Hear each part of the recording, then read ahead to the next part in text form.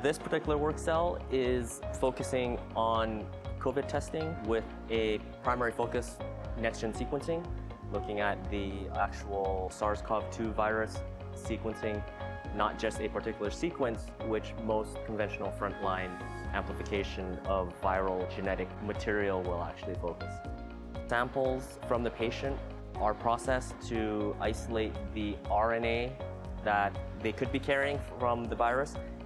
Those samples get inserted into this work cell where the RNA is converted into DNA um, and basically can then be amplified up. Patient samples of the purified RNA come in this plate format where it's 96 samples per plate. The samples in this plate can then be converted into DNA and then through a reaction on a thermocycler that gets amplified up.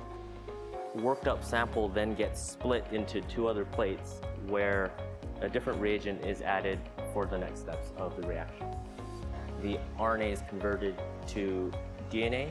Reagents required for that reaction to happen are dispensed with this particular instrument and what is dispensed is called a master mix. The plate itself will then go into a thermocycler where the reaction itself will create the strands of DNA.